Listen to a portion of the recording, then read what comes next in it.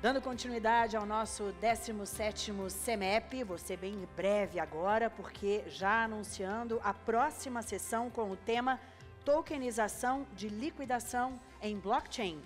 Para isso, eu convido ao palco o vice-presidente de Tecnologia e Produtos na Elo, Eduardo Merig. Bem-vindo!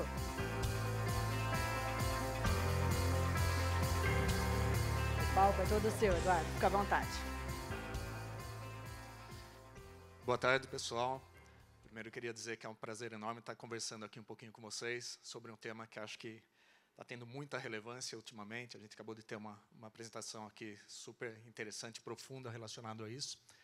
E eu queria trazer é, o mesmo tema, mas talvez num approach um pouquinho diferente e talvez um pouquinho mais do que, que de fato a gente está conseguindo fazer com isso, quais são os testes que estão acontecendo, pegar um um caso prático de coisas que a gente fez dentro da Elo, compartilhar um pouquinho com vocês dessa, dessa, é, de, de, como isso funcionou e, obviamente, trocar as experiências, né? Onde é que as coisas foram bem, onde é que estão os grandes desafios aqui e, principalmente, o que, que a gente enxerga para o futuro relacionado a essa tecnologia que está chegando muito fortemente de blockchain, smart contracts, tudo que é uma grande fundação para a questão de descentralização financeira.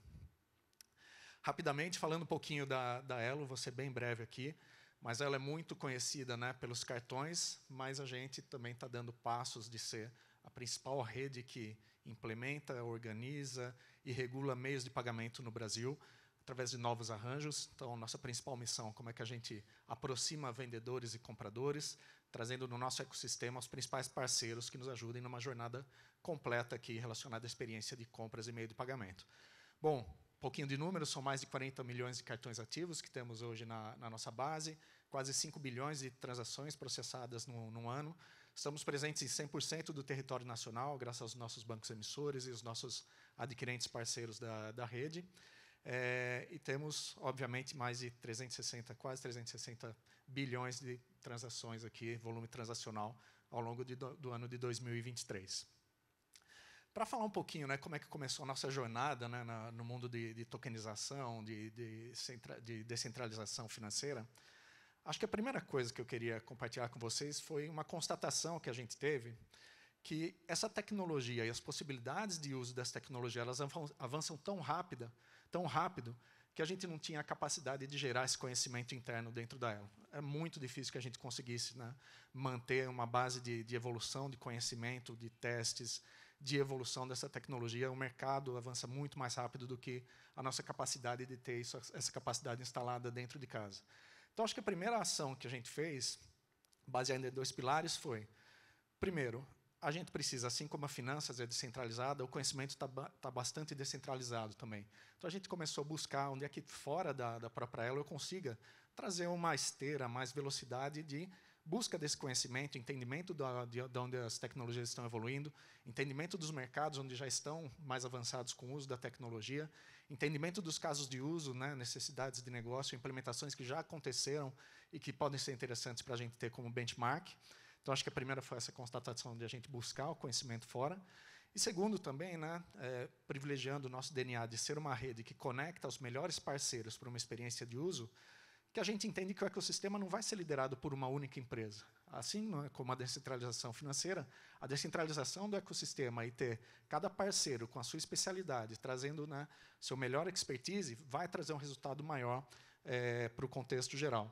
Então, a gente começou um pouquinho, a, a, os nossos primeiros passos né, de, de tokenização começaram, primeiro, né, de a gente participando mais fortemente de inovação aberta. Então, Lift Lab, a gente tem alguns projetos ali que a gente propôs, alguns deles estão andando, avançando. Muito importante essa aproximação.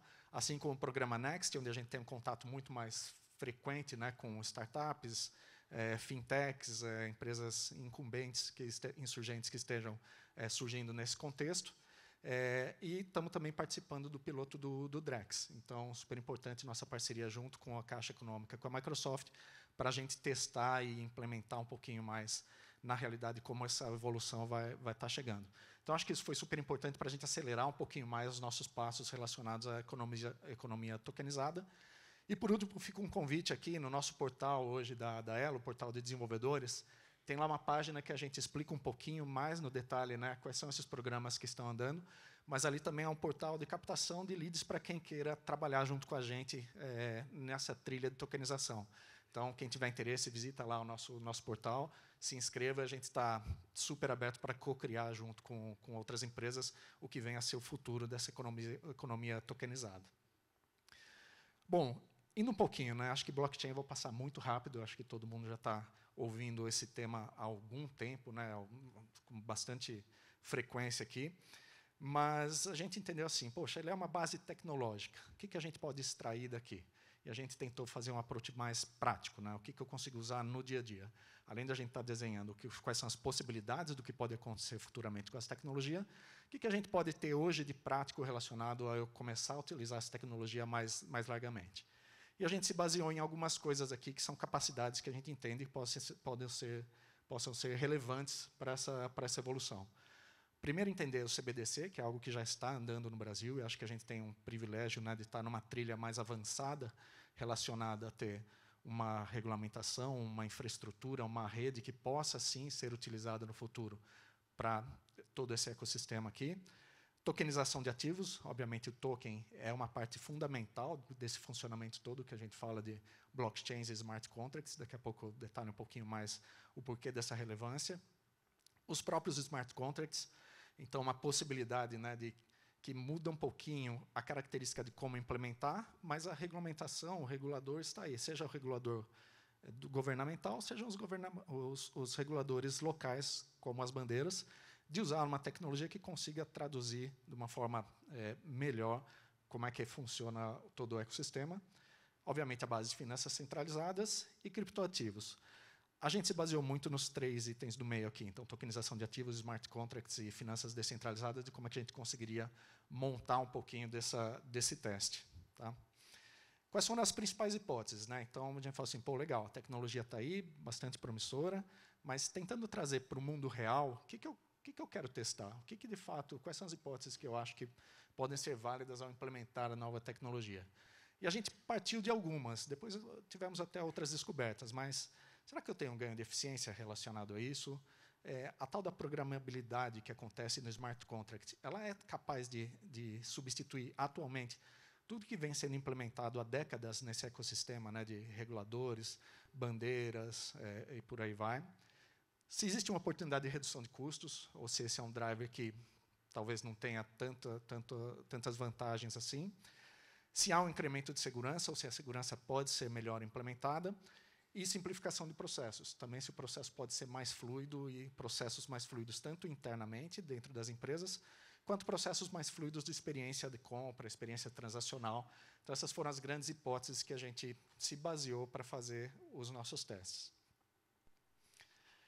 Aqui, então, a gente escolheu um fluxo que acho que talvez seja bastante conhecido de, de todos vocês aqui, mas um fluxo de liquidação. Então, vamos pegar um fluxo atual, ao invés de a gente criar né, uma nova trilha, um novo processo, tal, vamos pegar um, um, fluxo que já existe hoje de liquidação e vamos tentar aplicar a tecnologia aqui para verificar o que, que acontece. Né? Quais são os ganhos de fato, quais são as dificuldades, as oportunidades. Então, a gente pegou um fluxo básico aqui, né, de simulando um credenciador, enviando uma transação de compra, é, conversando com os bancos emissores para fazer a parte toda de autorização, fluxo completo em conjunto com, com os emissores, até toda a parte de agenda de pagamentos é, em conjunto com a Câmara de Pagamentos. Então, a gente pegou esse fluxo básico, porém complexo, né, e falou assim, vamos, vamos transformar isso dentro de uma tecnologia blockchain, vamos tentar descentralizar um pouco dessa, desse fluxo aqui para ver o que, que acontece. Tá? Primeiro passo, pessoal, foi tokenizar o fluxo. Né? E acho que aqui é bastante importante, né? eu, tenho, eu tenho falado com muita gente, tenho sentido um pouco que os conceitos, às vezes, acabam se misturando um pouquinho né? quando a gente fala de token. A gente está muito acostumado né, de usar o token do, do cartão né, para ter uma segurança melhor. É, quando a gente fala do token aqui, ele é similar. Na verdade, ele é uma representação de alguma coisa. Então, um token pode ser uma representação de algo que tenha um valor determinado, um token fungível, como é dito no, no mercado, ou uma representação de algo que não tenha uma representação direta financeira, um token não fungível. Tá? Por que tokenizar? Acho que essa é a primeira, primeira pergunta que a gente se deparou lá. Falou assim, poxa, mas por que, que eu preciso tokenizar? O token é a, a língua que a tecnologia de blockchain e smart contract entendem. Se você não tiver um token, essa tecnologia toda não funciona. Então, ele é como se fosse o protocolo para ser utilizado dentro de blockchain e smart contract. Existem padrões para isso. Né? Então, um padrão que a gente adotou, e que foi o mesmo adotado né, pelo Banco Central aqui no piloto do Drex que a gente está fazendo, é o EVM, que é um, é um token baseado em Ethereum. É super legal, né, porque a gente fala de EMV há sei lá quantas décadas, agora a gente está falando de EVM, que é uma questão aqui de um token que vai estar tá mais próximo aqui de blockchain, smart contract e tal. Então, o primeiro passo foi esse, vamos tokenizar as coisas, né? porque esse é o bilhete, esse é o ticket de entrada para que você consiga utilizar essas plataformas. Então, em vários trechos, a gente começou a fazer a tokenização desses ativos aqui. Segundo foi, bom, bacana, está tokenizado, mas agora o que, que eu preciso fazer para que esse token flua num caminho transacional? E a gente começou a fazer uma implementação dentro dos smart contracts de quais são as regras hoje que existem dentro da, da bandeira como reguladora do arranjo de meio de pagamento, reguladora do arranjo de quatro partes. Então a gente replicou, falou assim, poxa, como é que funciona? Eu traduzi, né? Todas as regras que existem hoje dentro no, dos nossos processos de autorização, de clearing, de settlement, para dentro de smart contracts. Então esse foi o primeiro grande desafio. Segundo, muda bastante a dinâmica da operação. Né? Então hoje existem mensagerias pré-determinadas, existem trocas de arquivos, existem processamentos que acontecem e horários pré-determinados. O que, isso implicaria né, numa mudança conceitual quando você começa a usar uma tecnologia desse tipo? E aí a primeira, a, a, a primeiro deep dive que a gente teve, né, primeiro aprofundamento que a gente teve aqui, foi relacionado a isso, que a gente viu a necessidade que um token único não consegue fazer toda a questão do começo da, do nascimento da transação até todo o processo de, de agendamento. Porque as características de cada etapa do processo de compras são específicas de, de cada um dos seus.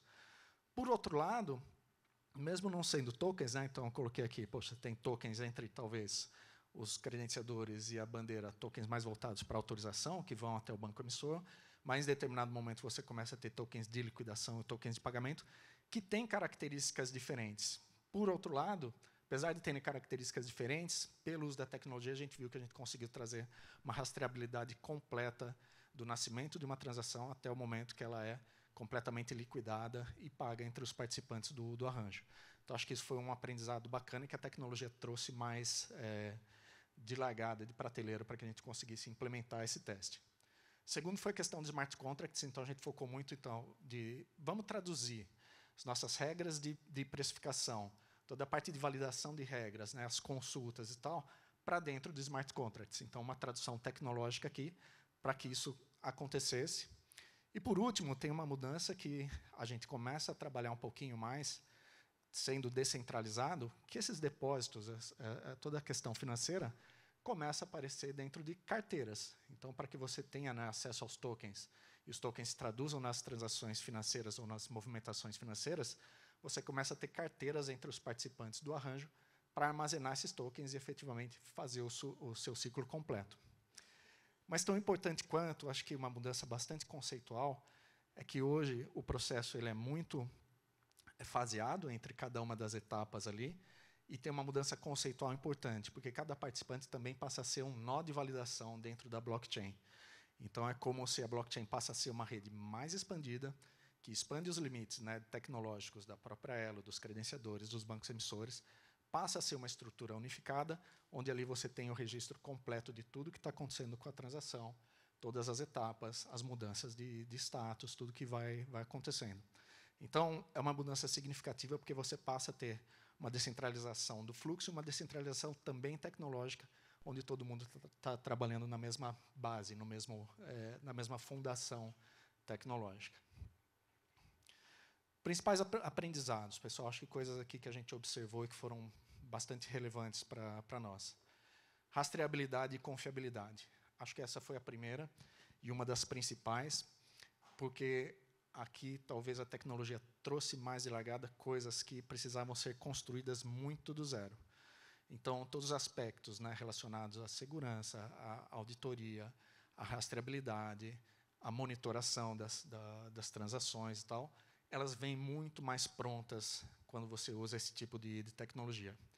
O que isso significa na prática para nós? Que a gente consegue focar mais em negócios. Né? Hoje, uma, uma, um, uma realidade que a gente tem no, no mercado é que a gente divide muito os nossos esforços né, do desenvolvimento do produto, desenho do produto, esforço tecnológico, implementação, em pensar nos aspectos de segurança. Cybersecurity é algo que né, também é, é, é, um desafio constante dentro da, das empresas do ecossistema. Então, uma parte relacionada a isso, você tem um pouco mais de prateleira ao uso das tecnologias. Então, acho que isso foi algo para a gente foi bastante importante, um resultado bastante significativo. Segundo, a parte de rastreabilidade, então do nascimento de uma transação, né, que a gente fala do DNA da transação, até o final dessa transação você consegue entender e ter uma rastreabilidade e auditoria de todas as etapas pelas quais ela passou.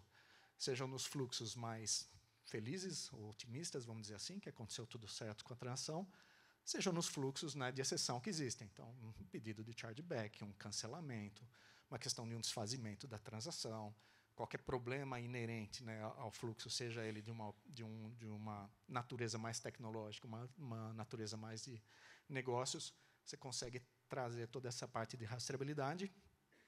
E confiabilidade também a gente entendeu bastante forte, porque você tem uma concentração né, de, um, de um repositório das transações que está descentralizado, é baseado em confiança de todos os participantes da, da rede, e tem um critério de imutabilidade. Então, com isso, você tem a garantia ali que a confiabilidade daquela transação não sofreu nenhum ajuste ao longo de todo o seu, seu processo. Então, acho que esses foram pontos bastante importantes relacionados à rastreabilidade e confiabilidade. O segundo ponto que acho que é bastante interessante de falar é a parte de simplificação. Eu comentei um pouquinho sobre a simplificação na construção do, do, do produto. Né? Então, a gente viu que tinha algumas etapas que já estavam mais prontas, o uso da tecnologia já estava mais fácil ou mais acessível para ser utilizado. Mas também, quando a gente fala da, da, simplificação, eu queria colocar um outro ponto que é na parte da operação. Né? Hoje, acho que a gente tem né, um ecossistema bastante robusto, mas cuja operação ela é também bastante é, onerosa. Então, quando a gente fala né, de toda a parte de transmissão das informações entre os participantes, né, de, um, de um arranjo, toda a parte de transmissão de arquivos, controle que você precisa aplicar sobre a integridade desses arquivos, um controle da monitoração dos processos, é, falhas que, obviamente, existem em todos esses processos, simplificou bastante. Então, você traz uma característica um pouquinho mais, não vou falar online, mas near time, então você reduz muito a necessidade né, de criação de batches noturnos que vão fazer a conciliação e tal, então você tem a possibilidade de aplicar isso mais próximo do tempo real da, da transação e simplifica muito nessa questão toda operacional de pontos de falha que podem acontecer em trocas de arquivos, né, falhas de links e por aí vai.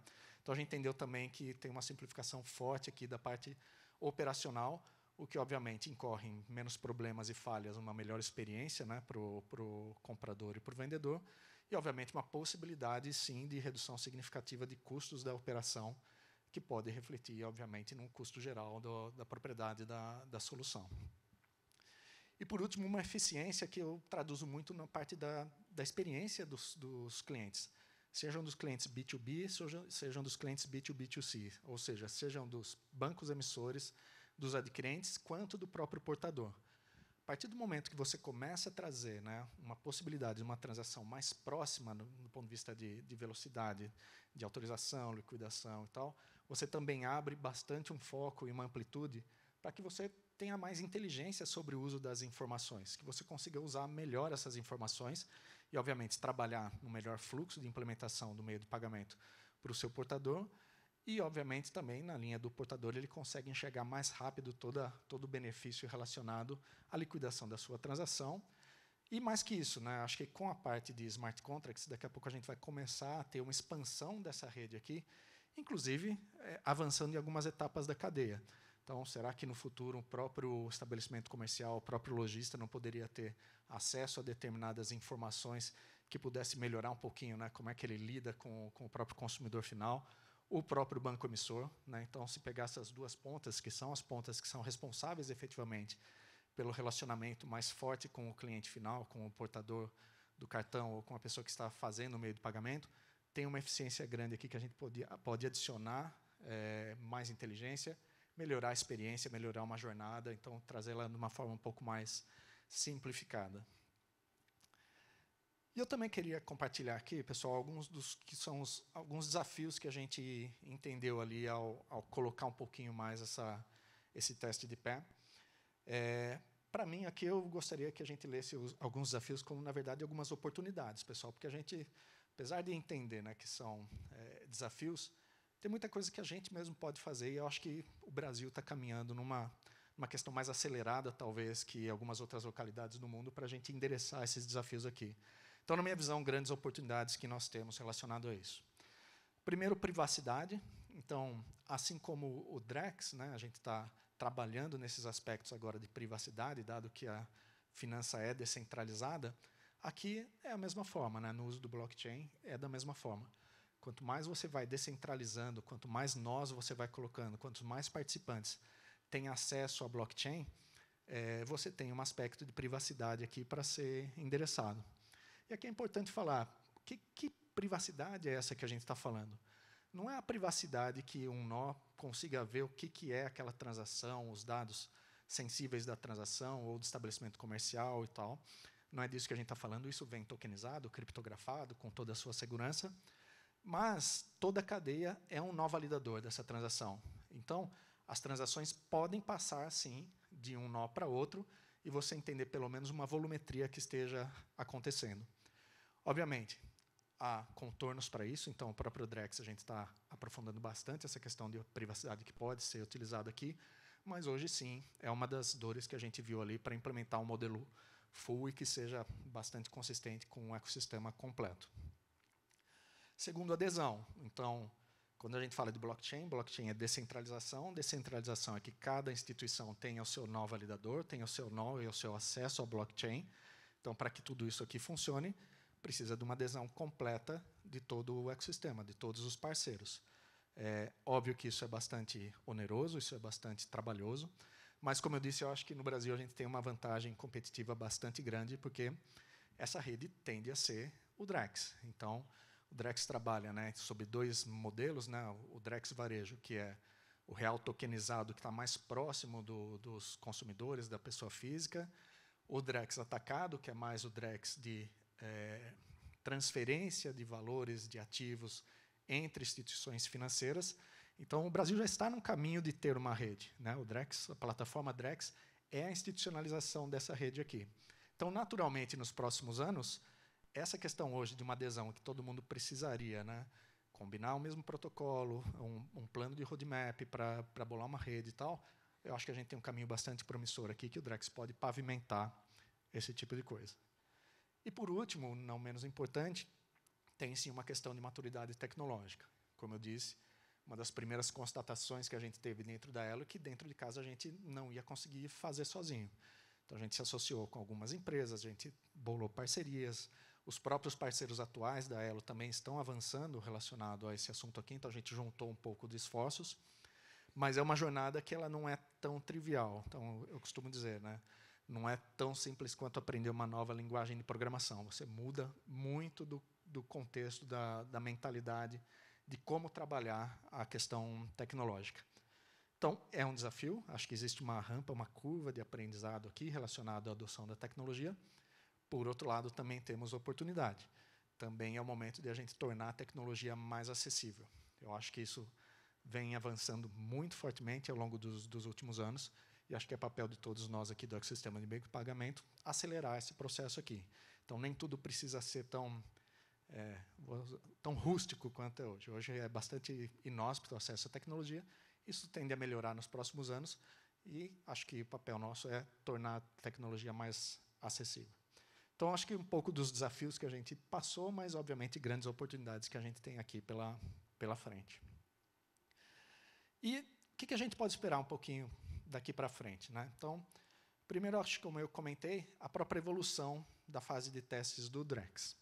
Então, ele vem avançando numa linha de a gente ter uma, o estabelecimento de uma rede, estabelecimento de protocolos, estabelecimento de um, de um modelo e padrões, de fato, para utilizar.